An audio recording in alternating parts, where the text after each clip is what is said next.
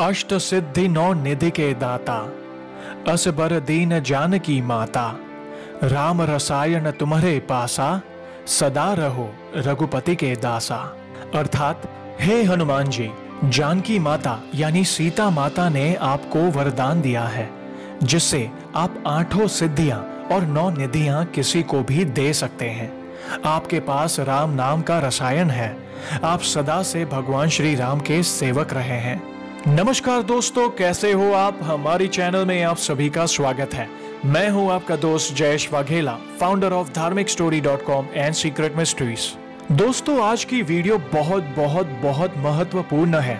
इस वीडियो को ध्यान से आखिर तक ज़रूर देखिएगा, क्योंकि आज हम श्री हनुमान जी को प्राप्त नव निधियों के बारे में विस्तार से जानेंगे। और पिछली वीडियो में पूछे गए सवाल का सही जवाब जानने और तीन सही जवाब देने वालों के नामों का शाउट आउट देखने के लिए वीडियो को अंत तक ज़रूर देखेगा दोस्तों, आज का सवाल है, भगवान श्री राम को हनुमान जी किसके समान प्रिय है? ऑप्शन है, नारद, भरत, लक्ष्मण या शत्रुघ्न। दोस्तों, इस सवाल का उत्तर आप कमेंट सेक्शन में ज़रूर दीजिएगा। इस सवाल का सही जवाब मैं अपनी अगली वीडियो में बताऊँगा और सही उत्तर देने वालों में से तीन लोगों के नामों का शाउट आउट भी अगली वीडियो में करूँगा। तो उत्तर ज़रूर दीजिएगा कमेंट में। श्री हनुमान जी को प्राप्त नौ निधियों में पहली निधि है पद्म निधि दूसरी निधि है महापद्म निधि तीसरी निधि है नील निधि चौथी निधि है मुकुंद निधि पांचवी है नंद निधि छठी है मकर निधि, सातवीं है कच्छप निधि, आठवीं है शंख निधि और नौवीं है खर्व यानी मिश्र निधि। माना जाता है कि नव निधियों में केवल खर्व निधि को छोड़कर शेष आठ निधियाँ पद्मिनी नामक विद्या के सिद्ध होने पर प्राप्त हो जाती है, परंतु इन्हें प्राप्त करना सरल नहीं है। जानकारों की माने तो अगर किसी व्यक्ति को ये निधियाँ प्राप्त हो जाए तो वो संसार की कोई भी चीज़ हासिल कर सकता है। तो आइए इन नौ निधियों के बारे में विस्तार से जानते हैं। पहली निधि है पद्म निधि पद्म निधि के लक्षणों से युक्त मनुष्य सात्विक गुण युक्त होता है।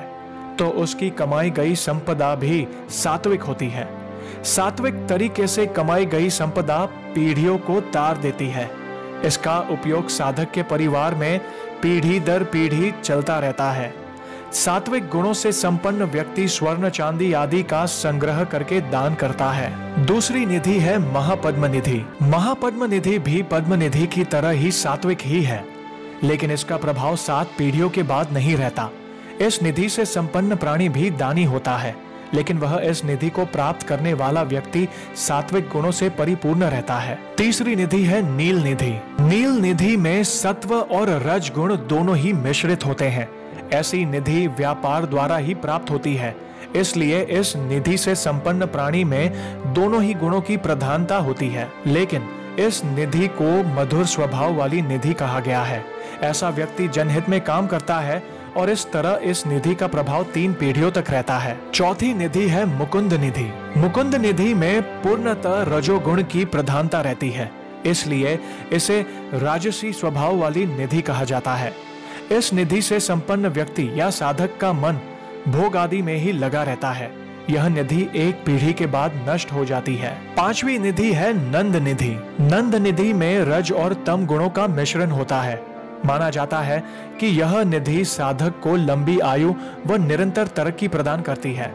यह व्यक्ति कुटुंब की नींव होता है, तारीफ़ से खुश होता है। छठी निधि है मकर निधि। मकर निधि को तामसी निधि कहा गया है। इस निधि से संपन्न साधक अस्त्र शस्त्र को संग्रह करने वाला होता है। ऐसे व्यक्ति का राजा और शासन में दखल होता है। वह शत्रुओं पर भारी होता है और युद्ध के लिए तैयार रहता है। लेकिन उसकी मौत भी इसी कारण होती है। सातवीं निधि है कच्छप निधि। कच्छप निधि का साधक अपनी संपत्ति को छुपाकर रखता है। ना तो स्वयं उसका उपयोग करता है, ना करने देता है।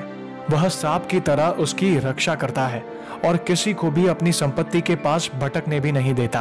आठवीं निधि है शंख निधि। शंख निधि को प्राप्त व्यक्ति स्वयं की ही चिंता और स्वयं के ही भोग की इच्छा करता है। वह कमाता तो बहुत है, लेकिन उसके परिवार वाले गरीबी में ही जीते हैं। ऐसा व्यक्ति धन का उपयोग स्वयं के सुख भोग के लिए करता है, जिससे उसका परिवार दरिद्रता में जीवन गुजारता है। नौवीं निधि है खर्व निधि। खर्व निधि को मिश्रित निधि भी कहते हैं। नाम के अनुरूप ही यह निधि अन्य आठ निधियों का समिश्रम होती है। इस निधि से संपन्न व्यक्ति को मिश्रित स्वभाव का कहा गया है। उसके कार्य और स्वभाव के बारे में भविष्यवाणी नहीं की जा सकती। उसका जीवन व व्यवहार उतार चढ़ाव भरा रहता है। इस निधि से प्रभावित व्यक्ति उसके स्वार्थ के लिए किसी भी हद तक जा सकता है। और वह अनिश्चयी स्वभाव का होता है। दोस्तों, अब हम जानेंगे हमारी पिछली वीडियो में पूछे गए सवाल के जवाब के बारे में। सवाल था, समुद्र लांगते समय हनुमान जी ने प्रभु श्री राम की मुद्रिका कहाँ रखी थी? ऑप्शंस थे, मुट्ठी में, मुख में, माथे पर या गले में।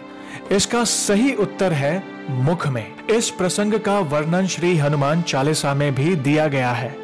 प्रभु मुद्रिका मेली मुखमाई जल्दी लांगी गए अचरज नाई अर्थात, इसमें कोई अचरज या आश्चर्य नहीं है कि आपने भगवान श्री राम की अंगूठी को मुँह में रख कर समुद्र को लांग लिया। इस सवाल का उत्तर तो अनेकों लोगों ने दिया। उनमें से तीन लोगों के नामों का मैं शाउट आउट करूँगा, जो कि है हर्षुल कोटावाला, सत्यम श्रीवास्तव और प्रीति यादव। आप सभी का बहुत बहुत धन्यवाद इस सवाल का उत्तर देने के लिए। श्री हनुमान जी की कृपा आप और आपके परिवार पर हमेशा बनी रहे। तो दोस्तों, कैसी लगी आज की ये वीडियो? वीडियो को लाइक और शेयर ज़रूर करिएगा, ताकि ज़्यादा से ज़्यादा लोगों तक श्री हनुमान जी की महिमा को हम पहुँचा सके और जल्द ही हम ऐसे ही इंटरेस्टिंग टॉपिक के साथ वापस लौटेंगे। तब तक जय श्री राम, जय हनुमान।